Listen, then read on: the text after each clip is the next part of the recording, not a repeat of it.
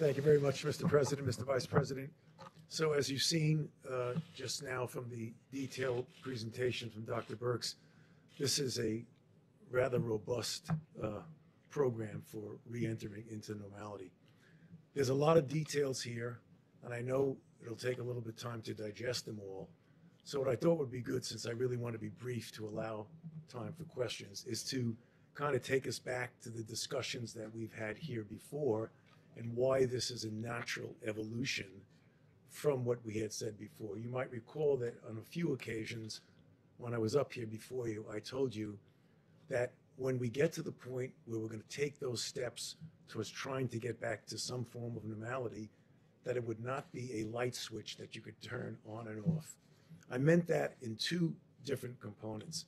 The first of all, that we are a very large country and we have different dynamics in the uh, country. We have areas of the country that have gone through a terrible ordeal and others that fortunately have gone and gotten, uh, gotten through this rather lightly. So that's the first thing.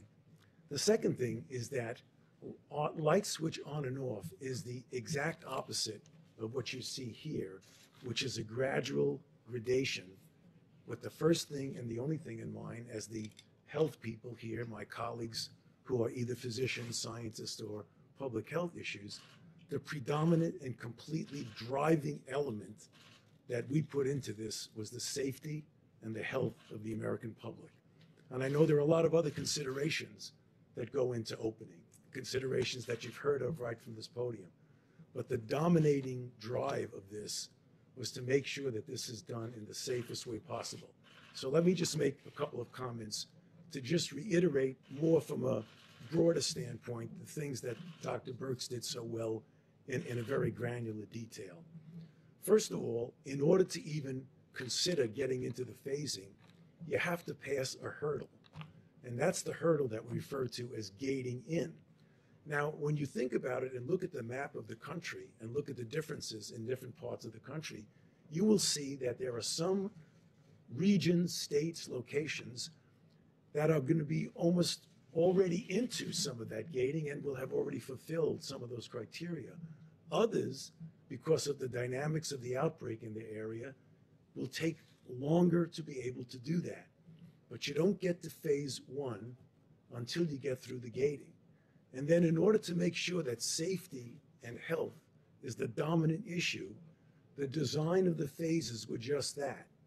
You go into phase one, if you get no rebound and you satisfy the gating for yet again a second time, then you go to phase two.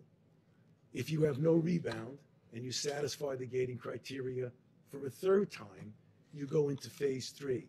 So there are multiple checkpoints of safety there. So as I've said from this podium, when we were talking about the first 15 days of the mitigation, and then we extended it another 30 days, I essentially pleaded with the American public to say, let us make sure we do the best that we can to accomplish that. And in fact, mitigation works. You saw the charts that the vice president and that uh, Dr. Birx put up. It worked.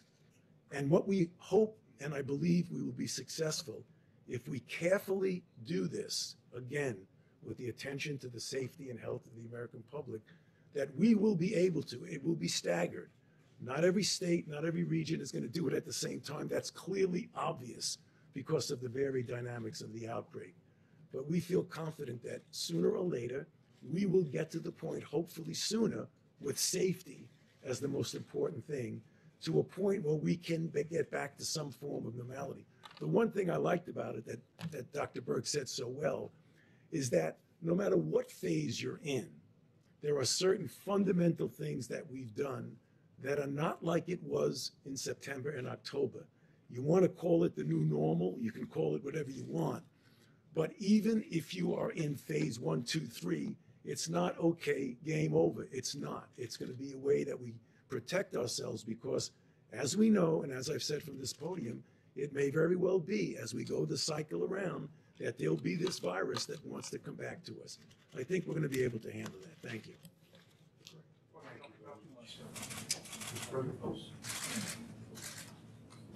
Go ahead, Dr. Fauci. Um, Dr. Koch, so I, I- assume that there's an, also a phase four, which is after a vaccine is developed Right. and available to everybody. So, a question on phase three being the new normal, are we during that phase gonna be able to see things like packed arenas for sporting events, large crowds, concerts? The, the answer is, it is conceivable that we will be able to do that. I think there will always have to be attention to making sure that we don't do all that packing in together. I think we'll be able to have sports events in that phase where you actually have participants there. I'm not sure you're going to be able to do that uniformly and evenly temporally with everyone, but when people get to that phase, paying attention to the fact that if there is a rebound of any sort, that when you're in that phase, you can respond to that, or you put it back and go in the other way. So the flexibility is that there may be some setbacks. I mean, uh, let's face it, this this is uncharted water. There may be some setbacks that we may have to pull back a little and then go forward. But John, the direct answer to your question, I do see us getting more towards normal. Vice President?